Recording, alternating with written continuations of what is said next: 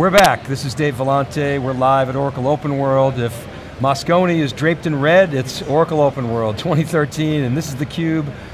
We're going to continue on with this uh, discussion of, that we've been having around Flash. Gary Orenstein is here, he's Senior Vice President at Fusion.io and a longtime CUBE alum. Gary, good to see you again. Thanks for having us. And uh, of course, David Floyer is with me, resident uh, Flash expert, infrastructure, database guy at uh, Wikibon. So Gary, uh, we, were, we were last here at, at VMworld, we were talking off camera, it's a totally different vibe here, right? I mean, this is, it's like big and everything's draped and you feel like you're inside the, the tent. Um, and at the same time, you know, Oracle's now claiming 60,000 people. I think they're doing that, David, because you know, Salesforce was claiming 40,000. So they got to have, they got to be bigger than Salesforce. But um, so what's been new since uh, VMworld, Gary? What's happening in your world? So we have a number of things that we're showcasing at Oracle World around the use of flash memory and Oracle. And it you know, basically boils down to three things. We want to help customers do more transactions, we want to help customers make faster decisions, and we want to help them save money. And all of those things are enabled by using flash memory compared to conventional architectures where people were relying on disk drives for performance. So we're sharing a number of those things uh, here at the show today. Also integrations that we've done with Oracle Enterprise Manager and Oracle virtualization software. But you know, to make things simple, it comes down to more transactions, faster decisions, and at a lower cost. And, and that's a message that really can help any customer. So, I mean, I just I make an observation and wonder if you could comment. It's like, whatever you hear in the marketplace with the trends coming from the startups and the, and the innovators, one to two years ago, you then hear at Oracle Open World. It really, it's, yeah. it's true. We heard, heard, today about key value stores, we heard about Hadoop connectors, uh, uh, we, we heard about bringing analytics and, and transactional data together. And, yeah. and, and you know, I say that sort of tongue in cheek, but the reality is, is Oracle goes after the fat middle. And that's actually a good trend for you guys, isn't it? Yeah, I, you know, I think it's no surprise that we knew there would be a big focus on in-memory at Oracle Open World. We've been talking about memory for quite some time. I think one of the nice things about hearing Larry talk about it uh, yesterday uh, during his keynote was the need not only to increase the number of transactions, but the need to increase the query time and really to, to reduce the query time, to increase the performance or reduce the query time. And we've seen this time and time again in customers who are looking to do essentially, you know, many type of things simultaneously. Either they're looking to increase transactions and increase queries. Another common workload that we see is the need to ingest data, the need to process that data, the need to present that data in a way that's actionable for the decision makers, and then a way to archive that data to a storage medium that makes sense for, for long-term archival. Doing all those things simultaneously, ingest, processing, presentation, and archiving, you can't do that on conventional infrastructure, and you have to move to a memory-based infrastructure. There was a lot of talk about DRAM yesterday. DRAM is a great uh, solution for a lot of people. We happen to think that flash memory provides a better cost performance balance for folks who are looking to process these kind of transactions, and so we've focused on providing our customers a way to do these type of things with a flash memory infrastructure. Well, it helps that it's persistent. I mean, we've heard, you know, uh, guys like Bill McDermott say, imagine a world without, without disk drives. Well, right. I'd love to imagine a world without disk drives, but I can't imagine a world without persistent storage. Right, so you're always going to need that persistence, and flash memory is fitting a really great middle between uh, DRAM and disk drives to allow customers to transact more, decide faster, but ultimately save, save more money. One of the things that I, I was uh, pleased to hear Mark Hurd talk about is, you know, last night Larry Ellison kept talking performance, performance, performance. This morning you heard Mark Hurd say, anytime a customer wants to take a portion of that performance and allocate it to cost savings, they can do that too. We shouldn't forget that the numbers that we increase on the top line can be flipped around so we save on the bottom line as well. And when we're talking so much about flash memory and performance, we sometimes forget to remind ourselves and also our customers that there are huge opportunities in cost savings in shrinking the infrastructure uh, with no sacrifice to performance whatsoever. So I'd like to ask uh, Gary one question about this in, in-memory trend that we've been seeing. Um, clearly, uh, the, the requirement there is, is to get analytics in particular into real time, as much as uh, real time, or close to real time as possible. And obviously, clearly, uh, you can do uh, bigger transactions, larger transactions, if you have the data and memory for the transaction systems. So it seems to me that in that environment, the requirement for flash is actually very, very important because if you have to put that data out onto a disk drive of any sort, you've got a total bottleneck for recovery or anything else like that. Right. Is that is that what you found in practice? Is sure. that what you uh, observe? Sure. You know, I, it, some of this uh, is always better conveyed in the words of our customers. We have a customer who said, you know, if I'm running my application and I'm serving my end users, and I have to leave the motherboard in order to complete a transaction or to complete a query, I'm kind of in trouble at that point because the speed delta is literally like you know falling off a cliff. And so by using flash memory and having it be right there in the server that's processing the application, uh, they're able to essentially achieve that real-time workflow, which is so critical. You know, we live in a world where time is of the essence and nobody wants to wait. And uh, you know, you combine that with the proliferation of mobile devices and endpoints and the need to serve all of that stuff from a single data center, a consolidated application from single data center, and you know, there, there is no room for anything that's not in real time uh, in this day and age. One of the other things that we heard this morning, I don't know if you were able to catch the, uh, the interview with the CEO of the NYSE. He said that uh, we used to measure you know, the, the, transaction time in seconds just a few short years ago, and now we're measuring it in, in microseconds. And David, you've done I remember when Fusion IO came out with the, the benchmark of a billion IOs, you actually did a hypothetical model of how many disk drives it would take to achieve that.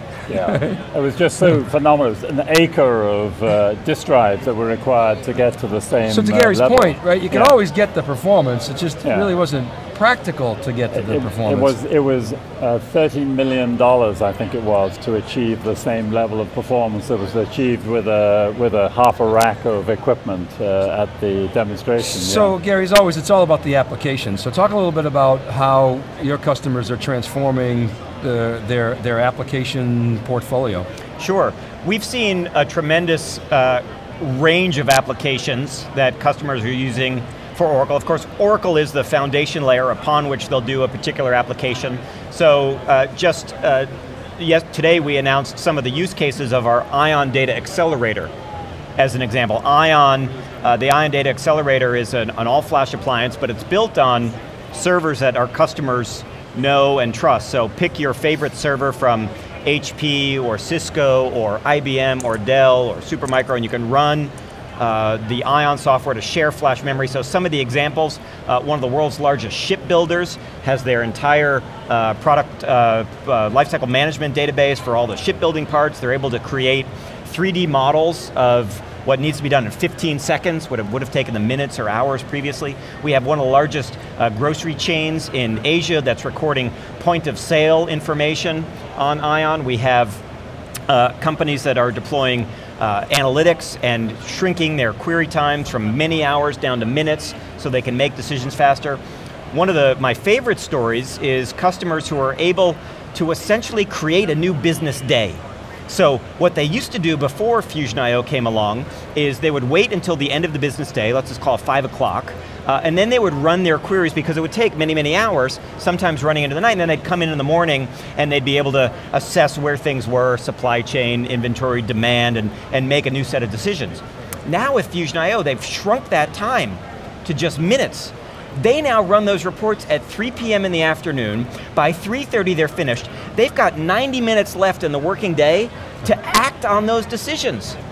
It is literally creating a new business day when it didn't exist before. So that's the kind of transformative change that we see with our customers being able to really do things that weren't possible before, enabled by either using flash memory directly in the server or using flash memory in a shared configuration, such as which, with our Ion Data Accelerator. So this is why I always like talking about uh, talking to Fusion IO because everybody always talks about the economics of flash and oh we, we shouldn't be talking about cost per gigabyte, we should be talking about cost per IO.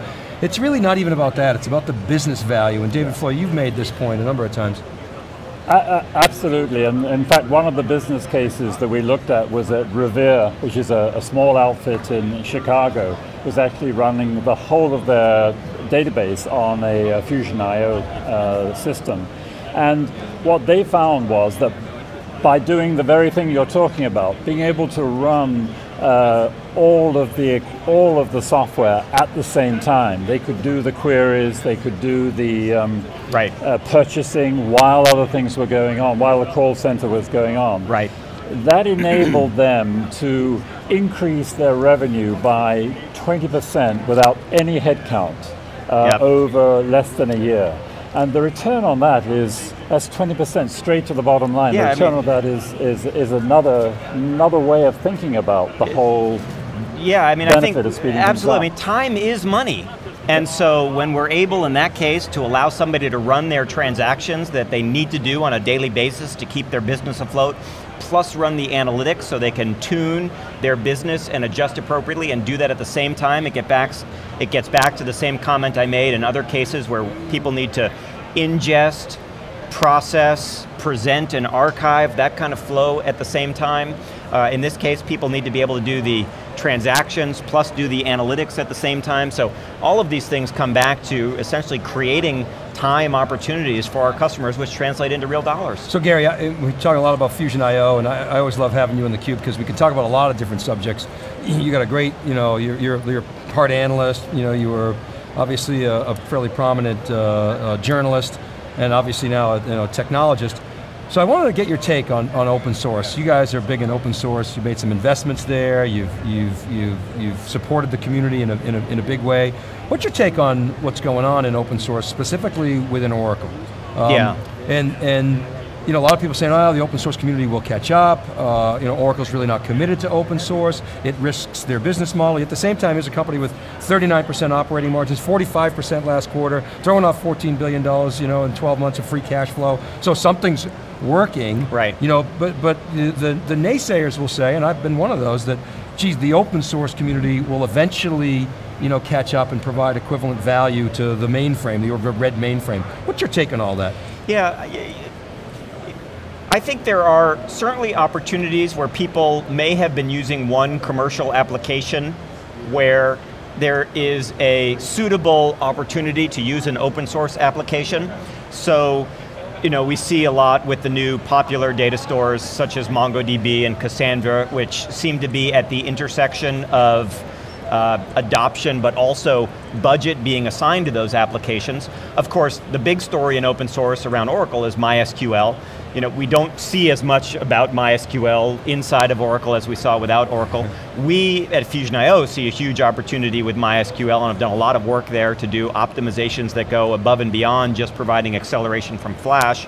Uh, specifically, I'm referring to the ability to do atomic writes, which provide more performance uh, and, and less infrastructure and extend the duration of the flash Which you've done memory. with Percona. We've done that right? with both Percona And- uh, and MariaDB. Yeah, so yeah, those for, for MariaDB, right. customers who are using MySQL from Percona or from MariaDB, there are phenomenal opportunities with them in the open source arena.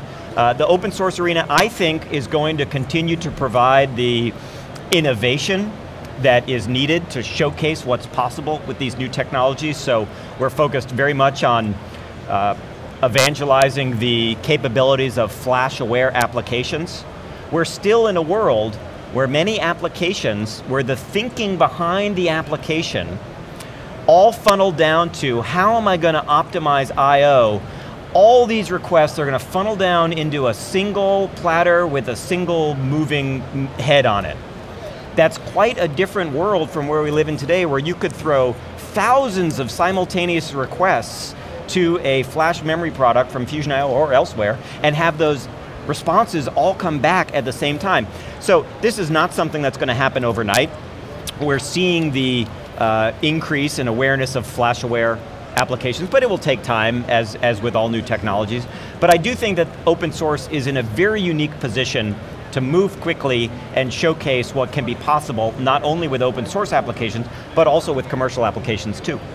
Gary, thanks very much. Pre- always appreciate your perspectives. Uh, we are running out of time here, but love having you on theCUBE. Welcome Great. back anytime. One, so. one more quick thing. I mentioned please. uh, we have a great demonstration at the Fusion IO booth in conjunction with Cisco and Oracle and Emulex. We're showcasing uh, a Cisco UCS based Oracle configuration doing 2.5 million IOPS, and that's from the Oracle Orion Storage Benchmark. And so again, this is an opportunity, take the performance up at the top, take the cost savings down below, but if you want to see the latest and greatest in terms of Oracle performance, or cost savings, uh, swing by the Fusion awesome. booth. All right, Gary, appreciate you coming by. Thanks very uh, much. And uh, keep right there, Teradata's coming up next. We're going to unpack what, uh, what's, what's going on there with one of Oracle's bigger competitors. Keep right there, this is theCUBE, right back after this.